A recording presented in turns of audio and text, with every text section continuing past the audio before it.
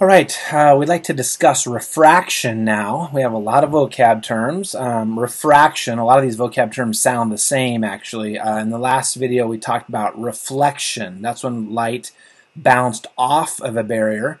Um, when we were talking about compression waves earlier, we talked about rarefactions. Those are the spread out portions of a compression wave, like a trough. Rarefactions. Um, here in another video, pretty soon, we're going to talk about diffraction. That's the spreading of waves through an opening or around a barrier. But this is refraction, refraction. And this is the bending of light as it goes from one medium uh, to the next at an angle.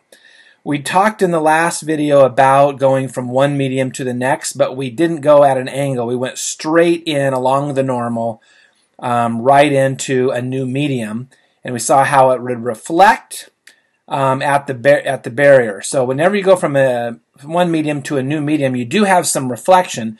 But if you go at an angle, some of the light will continue to go in, and, and we want to have, um, or waves will go in, and we'll have refraction. So if we look at this little animation here, um, um, what we have is we have an incident ray, and I'm going to try to draw on this thing a little bit.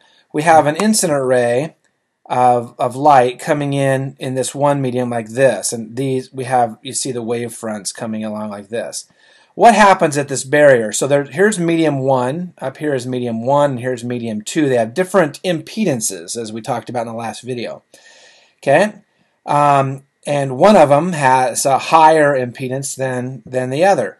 So, uh, and the one that has the higher impedance is uh, down here uh, below. This has a high impedance, and this one has a low impedance. And so what happens to the wavefront as it gets to the boundary here? So what I like to think about is I, I like to think about, see if I kind of redraw this over here and, and I draw in the normal line. And we have, we have waves coming in like this, right here at this point. I like to think about these as like being dumbbells. You're rolling dumbbells. This is like uh, this is like linoleum, and this is shag carpet okay? And you're rolling a dumbbell along the floor. What's going to happen when it gets right here to this point, okay? Well, this part is in the this part over here is in the shag carpet, and it's going to slow down. But this part is still on the linoleum. It still can go fast. So what happens is this thing uh, basically changes changes direction.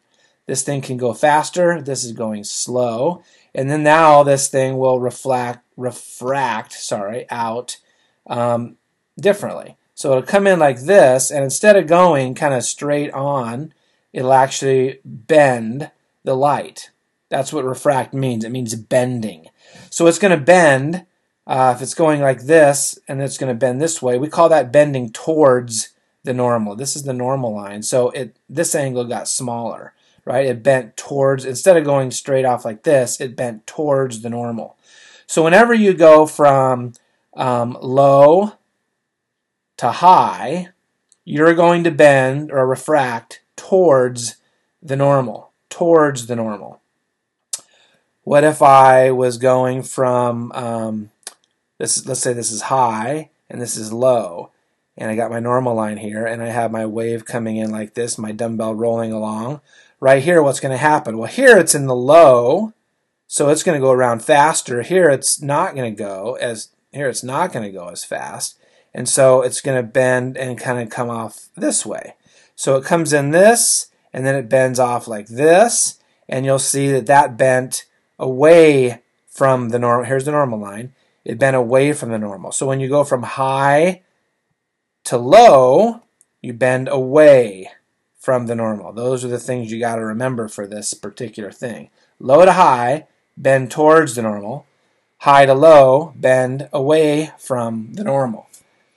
Okay, so um, that's kind of the way that that's uh, working. Um, let's look at uh, let's look at some other things here. Let's look at uh, this light right here. So here I have a uh, a flashlight, and up here I have air on the top, and I have uh, there's air up here on the top, and then down here I have uh, some water. And if I turn the light on, um, you see nothing happen because it's coming down along the normal.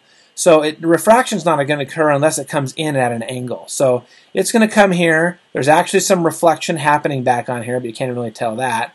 And there's refraction happening, but it's just going straight in. Um, now, water uh, has a higher impedance than air does. Now, what we actually call these in this thing is called index of refraction. So we have clear, transparent things that the light can go through.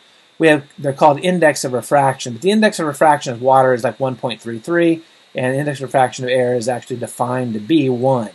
So this is a higher impedance down here for the water. So uh, if reflection does occur here, it's that going from a low to a high and the reflection here, of course, will be uh, fixed, and so it'll be uh, 180 degrees out of phase if it reflects. But um, I could actually turn on the waves so you can see what they look like. So you'll notice here that uh, in here, the wavelengths are smaller than they are here, right? You see that? Because the velocity of the wave is going to be slower down here. The frequency is still the same, the same amount of waves per second every time. But the velocity is going to be less so if the velocity goes less and the frequency stays the same, the wavelength would actually have to drop. So the wavelength between these two little light waves are uh, smaller here. Okay, um, let's uh, let's turn it back to array for a second. Now let, us let's let's come in at an angle. Start coming in at an angle. What do you see happen? Okay, so now we see the light beam coming in, and then we see that it refracts. It refracts down. Some of it reflects. As, as always, some of it reflects. And now this, of course, would be reflecting. It'd actually be 180 degrees out of phase. You can't really tell that on this particular thing. Okay, But this uh, would refract. If I do the waves on here, you'll see that it makes sense. Like think of these as dumbbells coming along here. And then right here, this, this part of the dumbbell is stuck in the water, so it goes slower. And this part here can uh, speed up, right? So it pivots and it turns turns this way. Um, if I were to draw on this here, my this this is the angle of incidence, and this here is the angle of uh, uh, refractance. It's the refractive uh, angle. Okay. Um, now, of course, in the law of reflection, angle angle I equaled angle R, right? So that was a law of reflection. But this is refraction. These aren't going to be uh, equal, obviously. Okay. And there is a law, and we're not going to get to it this year, but I thought maybe some of you would like to know it. It's called Snell's Law. It's an actually pretty easy law. Snell's Law that relates these angles to each other. And they're, of course, related to the index of refraction n of these things. The, the law is pretty easy. It's uh, um, n1 times the sine of angle I equals n2 uh, times the sine of angle r. So if you take the sine of this angle um, times this 1.33, that should equal the sine of this angle times 1. So Snell's law is a pretty easy uh, law to do, but we're not going to do any math with that. But if you wanted to know it, uh, there you go. You got that. Okay. Um, all right, good. What what if I what if I changed this thing up here to also uh, um, this thing up here to also be uh, water? Well, if they're the same exact uh, impedance, there, there's no reflect, no refraction at all, right? So um, it, it just keeps going through. It's the same. It's the same exact medium. The only time you're going to have this refraction is when you go from one medium into um, another type of a, a, medium. I could go from water into uh, glass, and glass has an impedance of 1.5. Uh, water is 1.3, so it's going from a low to high, and of course it bends towards the normal again. Okay. Uh, what if it goes from water into air somehow? Okay. Um, whoops. Okay. All right. So, um, let's see. We got array. Um, I think what happens here. Okay, now this is interesting to watch. We have complete, um, complete internal reflection. Watch what happens. See, there's a critical angle. Watch, watch, watch what happens. Look at that. Right there, I have refraction. This is really interesting. So this is, there, there's a certain angle, and we, we figured out later with that at law I just mentioned, but we won't do it right now. There's a certain angle that if you get to, you have complete internal uh, reflection. Complete internal reflection. Okay, so this, by the way, that's how they make uh, they they cut diamonds. Like for your diamond ring, they cut certain faces in the diamond so that you get internal reflection. Light goes in, and it basically it can't get back out. It's kind of like captured in there because all the angles are cut so that the um, the light trying to get back out will will do this. We'll have internal reflection. So and then that light will come back out and go out maybe the top of the diamond. So that's why diamonds sparkle. They look really kind of cool. Okay. All right. Um, so you'll notice here, though, that as it's going from the water to the air, it's reflecting away from the normal because it's going um, into a lower impedance. And I can put the waves on there to make sure we see that. See, it's coming like this, and then all of a sudden this gets into the uh, air, and uh, it's going to go um, a lot faster than what this is here in the water, and so it's going to bend this way and go um, away from the normal. Um, let's see. What else can we do? Make this air. Uh, this is water. See, it bends towards the normal. But if I make this glass, it bends even more towards the normal because it even has a higher impedance. Um, mystery A. Ooh, mystery A. Mystery A. All right, what's what's mystery A? What is n? Well, you, you could use that equation to figure it out because you can measure these angles and stuff. But uh, what do we? I just want to know what is this uh, medium? It, does, it has a higher impedance or a lower impedance than this one up here, than air. Yes, it would have a higher impedance, right? And it's actually higher than uh, water and higher than glass because it bent even more towards the normal. And look at the wavelength. The wavelengths are really small now. So the impedance or the velocity is really, really low through this through this uh, particular medium. Okay. I don't know what the there isn't is there an, there's not an internal angle we can get that to go in. Okay. Um, mystery B. I don't know what that is either. Uh, what else do we have? Custom. What can I do? Oh, I can change whatever I want. And just change the medium Look, as I lower the medium, right? As I lower the medium, it bends more and more away from the normal. And if I get all the way down to air, um, it's just going to be going straight through, right? So there's not going to be any refraction um, at all. Okay. Um, I think that might be all I'll show you on that. I think you you don't actually have to know the law. Um, we're not doing any math on this. You just need to know that if it goes from one type of medium to another, how it would bend. Would it bend away from the normal? Would it bend towards the normal? Or would it not even refract? Would it go um, straight on through? Now remember, refraction only occurs when you're coming in to the medium at, a, at an angle. If you come in along the normal, there is no refraction. It's just going to go straight on in. Hopefully that makes sense. Refraction is why sometimes we kind of see some kind of strange things. Um, it also helps us to be able to uh, um, go fish hunting. I don't know if any of you have ever went fish hunting. Yeah, where you actually, you know, have a gun and you try to uh, shoot fish in the water. So, um, uh, what you need to know about fish hunting is that um, if there's a, uh, a fish, if there's a fish down here under the water, and you uh, try to um, aim at him, okay, um, you try to aim straight at him like this, you like this.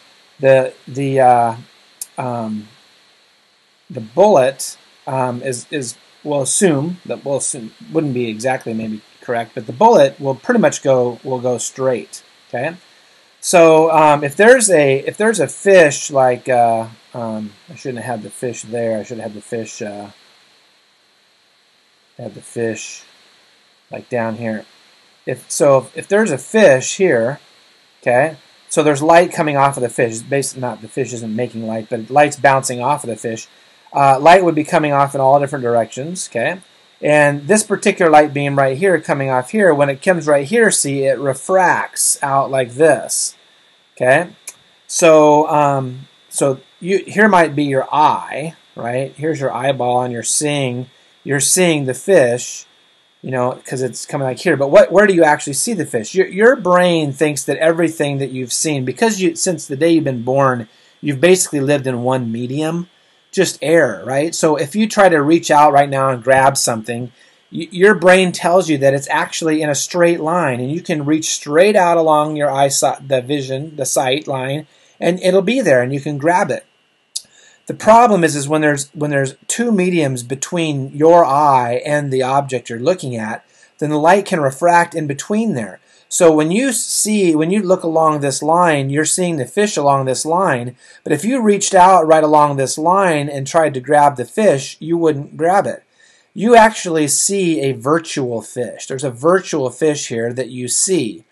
The fish is actually down here. So if you tried to shoot a bullet along this line, you'd miss the fish. See, it would go over the top of the fish. So whenever you're looking down into the pond and a fish and you're trying to shoot it, you would see it here. You actually need to aim. Uh, you need to actually aim uh, below it. You need to actually aim below it.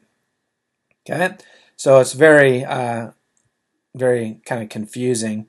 Um, there's a whole bunch of things that you can uh, do with this refraction. You know, if you ever went and like watch a see a crocodile or something in a big glass tank at the zoo, it's really you know it can be really deceiving, and you can look at it at different angles, and it looks like it's right there, but then you look in the tank on the top, and you'll see it's clear across the tank, and uh, very very strange. So if I had a let's say we do this, let's say we have like a um, a, a, beaker of water and I stick a pencil down in it, if I stick it right down here in the middle, it'll you'll you'll be able to see it straight down through the middle. It'll actually maybe look a little bigger because it's kind of refracting and so it, kind of magnifies a little bit.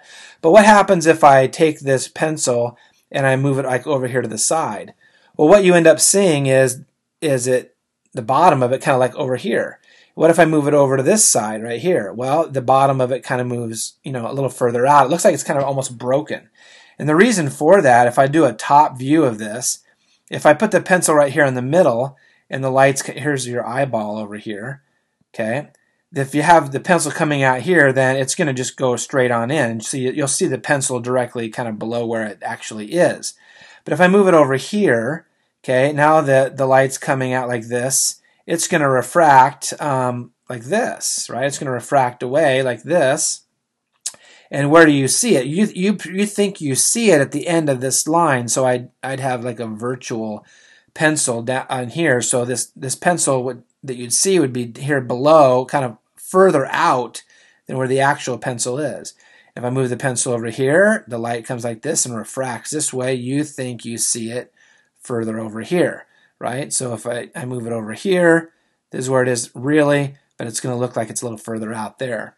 Okay, so this is uh, you know how you fish. If you have uh, you're up here and there's a fish down in here, and there's uh, light coming in all different directions, light coming this way, it's going to bend away from the normal. Here's your eye right here. You're going to think that it's going to be right here along uh, this um, path right here. You're going to see the fish here. If you try to aim right at that fish, you're going to miss it. You need to actually aim a little bit below. Just some fun things with uh, with uh, fish hunting.